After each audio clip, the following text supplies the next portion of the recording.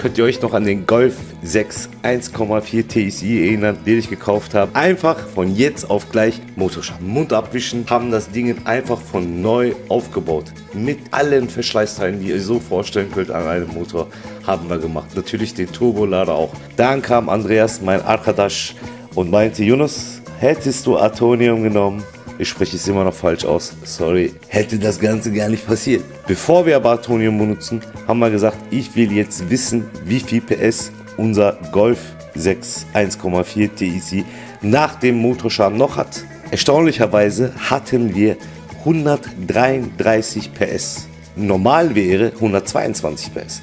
Also haben wir 11 PS mehr als Werksangaben. Atonium verspricht aber, dass wir danach mehr Leistung haben, weniger Verbrauch haben, plus ruhigen Motorlauf. Bei diesem Video geht es auch darum, dass wir dieses Produkt mal ausprobieren und mal gucken, ob der mehr Leistung bringt oder nicht. Natürlich kann ich euch den Verbrauch nicht sagen, warum. Mein Bruder Ibi der liebt natürlich meine Projekte, der guckt auch jedes meine Videos. Dankeschön für das Support, Abi. Aber weil mein Bruder eher seine Meinung, wie das Wetter von Deutschland tausendmal ändert am Tag, hat er das Auto gekauft, angemeldet und nach einer Woche gesagt, ey Jonas, weißt du was, ich kaufe mir doch ein neues Auto. Timur hat diesen Golf 6 gekauft. Wir haben ja Atonium reingemacht und danach sind wir 1000 Kilometer gefahren. Danach kam nochmal ein Ölwechsel und danach ist der nochmal über 2000 Kilometer gefahren. Jetzt wollen wir natürlich wissen, hat das Ganze was gebracht oder nicht. Das werden wir in diesem Video sehen. Viel Spaß!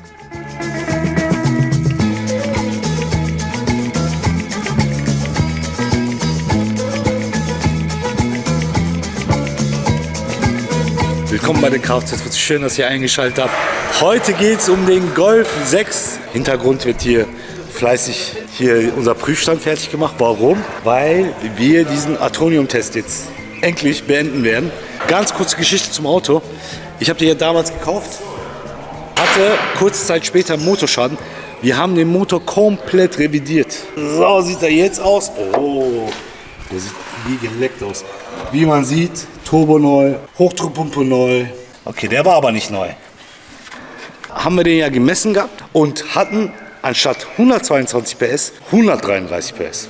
Wir haben Atonium nochmal reingeklatscht. Also hast du jetzt wie viel Kilometer gefahren mit Antonio? 2000 ungefähr. 2000. Kannst du jetzt in diesen 2000 irgendwas sagen? Hat sich da irgendwas verbessert, verschlechtert? Hast du irgendwie das Gefühl, der zieht besser? Der zieht besser. Der zieht besser? Der zieht 100 Pro viel besser. Okay. Also das ist mein Gefühl nach 2000 Kilometern. Oh, halten wir so fest. Hat auch meine Mutter gesagt, wo sie das Hat deine Mutter auch gesagt? Ja. Okay. Wie dir, geht's dir? Ja, blenden. Gute Laune, Mensch. Haben mit- schon viele nachgefragt. Genau. Ich war ja auf der Nordigen Motorshow, wie viele Leute gekommen sind und gesagt, ey, bringt Atonium echt was? Ja. Jetzt wartet ab. Wir werden es heute testen. Genau. Wir haben ja schon 11 PS mehr. Wie viel Grad haben wir heute? 25 Grad? Ich habe gerade geguckt, 21, 22. Die Bedingungen können ja nicht schlechter sein. Hier ist Andreas ja, von Atonium. Ich sage es immer falsch, ich weiß. Er ist neutral, wie die Schweiz. Er ist der Käufer, denen ist sowieso alles egal. Ich gebe dir die Plattform. Was denkst du jetzt, was wi- wird jetzt trotzdem viel, viel besser sein als vorher? Ich sag jetzt 139. Er läuft sehr ruhig für ein TSI. Ja, ne? Hast du das Gefühl, Timur, seit wir einmal diesen Ölwechsel und Atonium reingeklatscht haben, dass er ein bisschen ruhiger läuft? Ja. Ja? Was macht der? Der ist richtig ruhig. Ja, natürlich, weil Kette und so alles neu. Kollege, was denkst du denn, dass er erstmal Kettengeräusche macht? Hallo? Macht er mich schlecht hier? Er ist immer noch tiefer, er hat immer noch die gleichen Reifen. Er sagt 139 PS, ich sag nichts, aber was mir echt auffällt, er läuft ruhiger. Das muss ich sagen.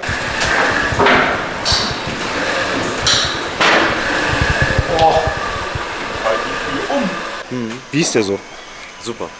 Also bist du zufrieden? Ich bin sehr zufrieden. Hast du irgendwelche Probleme? Nein, habe ich nicht. Sitzheizung? Die Sitzheizung ist Äh, was ist mit Standheizung? Standheizung ist auch. Machst du ja. das auch kalt und so? Ja. Der ist aber ein bisschen lauter noch, du sagst, Ja. ne? Ja, aber hallo, ey, für 280 Euro eine Standheizung. Super. Wie ist die Kamera? Die Kamera ist super. Ja? Ist ja alles. Ey, doch geile Dings, Bildqualität. Ja. Wo du, wo, du- wo du zurückgesetzt hast, habe ich Ja, ja. gesehen, ha? Kamera? Ja. Komisch. Okay, ja, gut. Automatische Heckklappe funktioniert immer noch. Ja, funktioniert Bist du immer noch zufrieden? noch. Ja, Tronsradio. Ist super. Und Timur hat am Samstag Prüfung. Also Daumen drücken. Also Daumen geben. Dankeschön. Nein, Dings. Äh, Führerscheinprüfung. Nein, der macht ja seinen Geselle hier. Mechatroniker. Ich muss auch sagen, ne, Timur ist einer, also ehrlich. der arbeitet in seiner Freizeit bei mir. Kostenlos. Einfach nur zum Lernen. Und ich muss sagen, der arbeitet, als wird er voll viel Geld verdienen. ne? Also das muss ich sagen. Das kriegt er ja erst wieder nach dem Test. Nein, aber dafür hat er auch von mir ein super schönes Auto bekommen. Ne? Ja. Aber ich muss sagen, ehrlich, das ist ein sehr, sehr fleißiger Junge. Sage ich nicht, weil du breiter bist als ich, aber Ja, die klassische Situation, einer arbeitet, drei gucken. warum? Ich sehe nur zwei. Ich arbeite auch. So, ja. Kamera halten. Heute bin ich wirklich gespannt. Wir haben das schon mal einmal erlebt mit dem BMW und da haben wir es auch nicht glauben können. Verbrauch kann ich gar nicht sagen, weil ich den gar nicht gefahren. Wie viele Kilometer kommst du mit dem Tank? Tank ungefähr 550, 600. 500, äh, 600. Also 600. Wie viel tankst du? Also 55 Liter. 55 Liter? Fünf, ja, okay, aber du fährst ja auch überwiegend Ja. Kurzstrecke und Dings. Ja, es, es kommt ja auch drauf an, wie du den fährst. Ne? Er hat frisch Führerschein. Mhm. Ja, Kann sein, dass er ein bisschen mehr. Nein, er fährt doch anständig. Der fährt doch. Safe, ja sowieso, aber es kann ja sein, dass er mal ein bisschen mehr beschleunigt, weil die 133 PS sind verlockend. Ne? 133 PS, 225 Newton, wir hatten eine Raumtemperatur von 15,1. Wir können. Ja, werden wir gleich sehen. Die Drehzahl ist ja noch synchronisiert, die muss ja jetzt gleich sein. Ne? Okay. Die Bedingungen sind schwerer, an dem Fahrzeug wurde nichts gemacht. Ja, kannst Kraft machen. So, jetzt wird gemessen.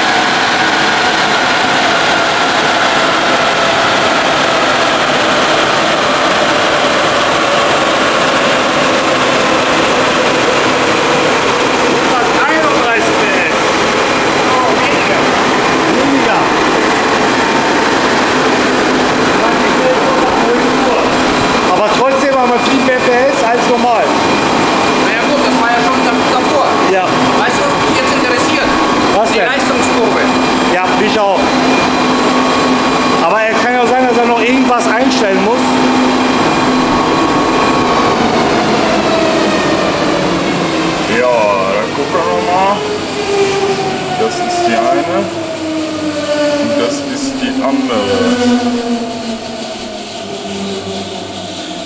Also obenrum hat er sich auch irgendwie nicht so stark angefühlt, warum auch immer. Aber hier in dem Bereich ist er gleich stark. Vorher und nachher ist er irgendwie schwächer, warum auch immer. Aber das Hier kann das sein, weil wir jetzt, ich sag mal, 10, P- äh, 10 Grad mehr haben. Guck mal, sogar 24 Grad Raumtemperatur.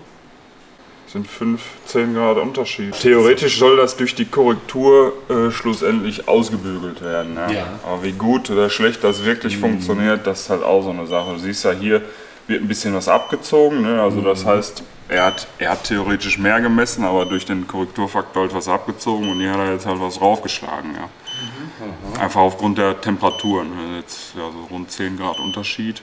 Aber man sieht ja, dass ähm, also was interessant ist, wir machen gleich auf jeden Fall mal noch einen, einen Lauf, ja. Aber hier ist er ja ziemlich gleich, ne? ziemlich identisch. Und hier auch.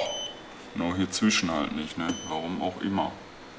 Warte mal, die blaue Kurve ist die jetzige. Blau und, nee, blau und rot ist äh, vorher. Also hier unten siehst du es auch, ne? Das Okay. ist hier vom Ach, 21.02. lila, lila und grau ist äh, Ja, diese, von diese, heute. die dunklen, ja, lila und grau, genau. Ja, das Mhm. ist von heute.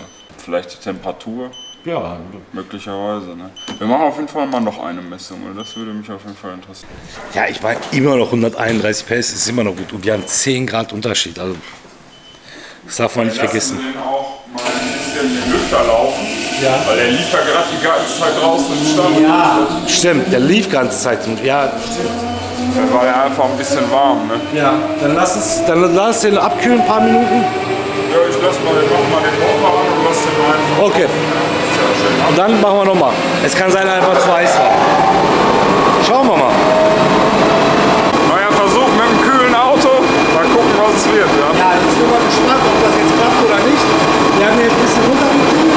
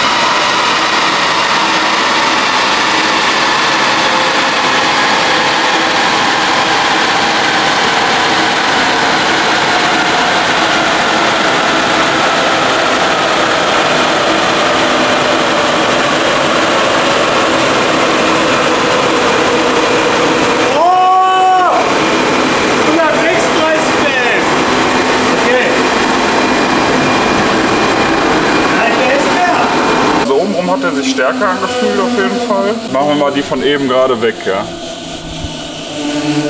Aber siehst du auch, läuft, läuft jedes Mal anders. Ne? Hier ist wieder ähnlich wie gerade. Wenn man das jetzt, guck mal, hier ist es relativ ähnlich wie gerade, ein bisschen schwächer.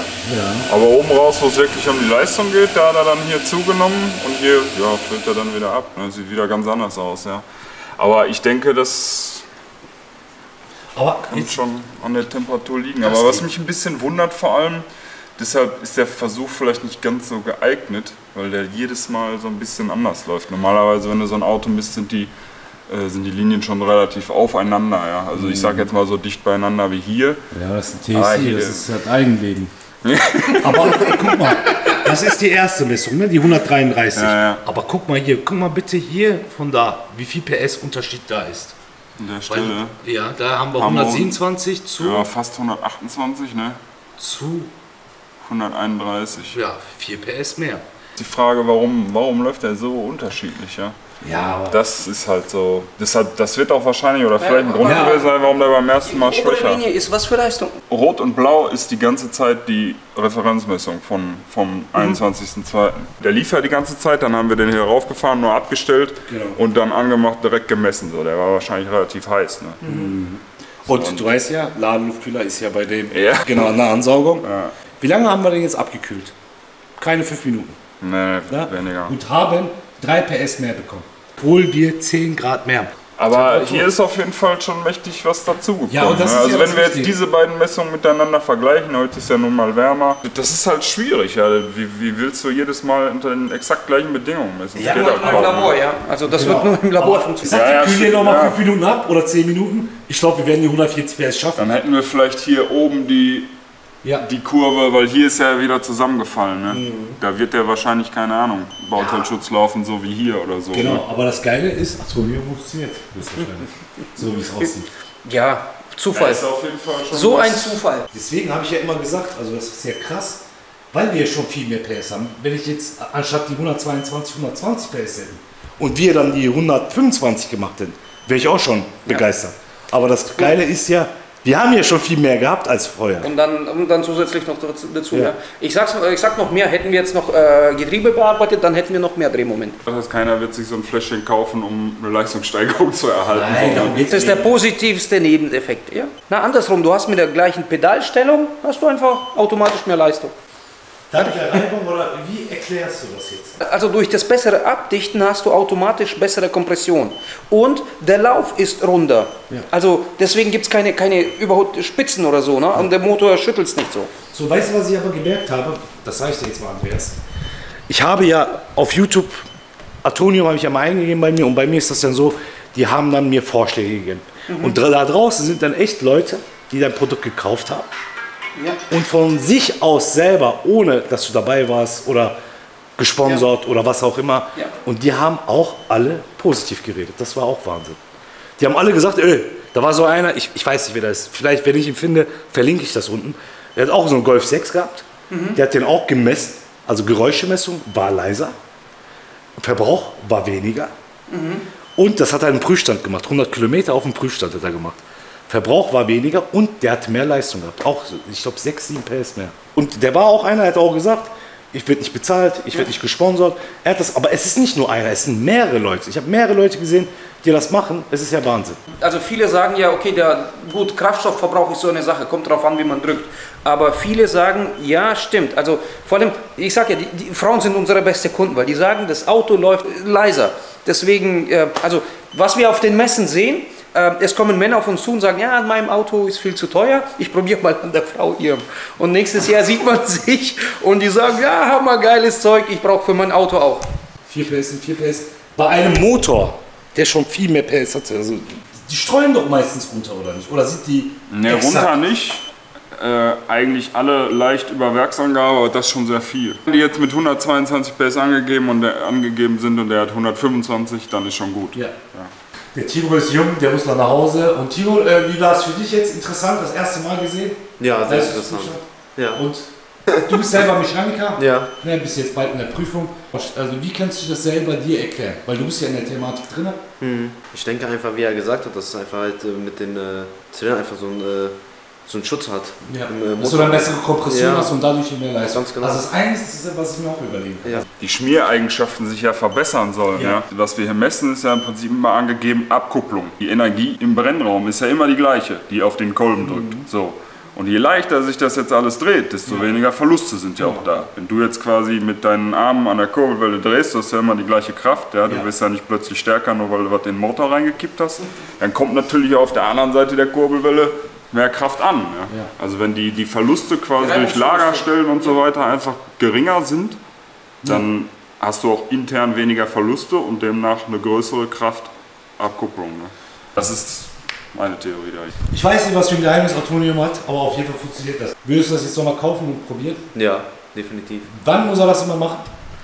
Ähm, Also eine Anwendung, einmal zum alten Öl, nach dem Ölwechsel zum neuen Öl. Das hält 40 bis 50.000 Kilometer etwa. Aber der macht natürlich jedes Jahr Ölwechsel. Ja, Und ich habe ja gesagt 10.000. Ja. Das heißt, bei jedem dritten Mal oder vierten Mal? beim jeden dritten, vierten Mal, ja. Also muss er nicht bei jedem Mal. Nein. Das erste Video mit, dem- Golf ist echt super angekommen. Ich hatte sehr viele Telefonate geführt und auf den Messen werde Aber ich angesprochen. ich sagte jetzt, das ja? wird jetzt noch krasser, weil viele haben drauf gewartet. Ja. Und wenn wir jetzt so ein Ergebnis sehen, Ich will noch mal hier kurz was zu der Messung sagen mit den 131 PS. Also gibt es wahrscheinlich auch ein paar bei, die dann denken, oh, das hat weniger wie vorher. Aber das kann ja durch so ein Mittel kaum möglich sein. Da ist ja kein Sand drin oder so, ne? was das jetzt irgendwie... ja, nee, Das wird tatsächlich wegen der Temperatur gewesen Haben wir doch sein. 3 PS mehr. Ja, Komm, runden wir auf 4 PS. Was war alles drin in diesem Golf? nur den Motor bearbeitet. Einmal zum alten Öl dazu. Ja. 1000 Kilometer gefahren, Öl gewechselt. Dasselbe zum neuen Motoröl dazu. Dann nochmal 2000 bis 3000 damit gefahren. Jawohl, richtig. Also so viel braucht das Mineral, bis sich ein, eingearbeitet hat. Wir hatten so ein Kraft Spritverbesserer. Genau, und So, das, so, so ein genau, Spritverbesserer. Ja, also das reinigt die Ventile und, und das Kraftstoffsystem. Das ist auch alles unten verlinkt. Wir stehen so kurz vor Einführung. Die ersten 100 Besteller Da werde ich fünf solche Klimakanäle, Reiniger oder Desinfizierer. Das stellt man im Auto auf, drückt auf den Knopf und lässt, den, lässt die Klimaanlage auf, auf Umluft, äh, ja, auf niedrigste Stufe laufen. Ja, das kann ja hier mein Mercedes gut gebrauchen hier. Ja, stimmt. Nach so vielen langen. Schau mal, das funktioniert so. Ja, das kenne ich, genau. Ach so, ah. Zack, im Auto aufstellen. Und dann einmal draufdrücken und danach. Durchdrücken, korrekt. Ja, das ist geil, aber danach äh, ganz, ganz wichtig, wenn ihr sowas benutzt, Leute, ihr dürft ungefähr zwei Stunden nicht ins Auto rein. Also danach lüften, natürlich. Lüften und zwei Stunden am besten nicht ins Auto rein. Also Und ganz wichtig, da ist Eukalyptus und nicht irgendein süßer Geruch, Ja. weil Eukalyptus hat bessere reinigende Wirkung. Wie gesagt, unter den ersten 100 Bestellungen, da, da packe ich das mit dazu. Und äh, als, als kleines Bonus, als kleines Dankeschön. Nach dem ersten Video ist schon ganz gut angekommen. Wir haben sehr viele Bestellungen. Danke fürs Vertrauen voraus. Jetzt habt ihr die Bestätigung. Und schreibt bitte in die Kommentare, schreibt Plus oder Minus. Ich bin für, jedes, äh, für jede Kritik offen. Jetzt haben wir den Golf abgeschlossen, endgültig. Video hat für sich gesprochen, würde ich sagen, und das ist Wahnsinn. Alles unten verlinkt und ja, Andreas, du lässt mir natürlich noch ein paar Produkte für den Mercedes da, ne? ganz wichtig. Leute, Dankeschön fürs Zuschauen, bleibt gesund, bis dann.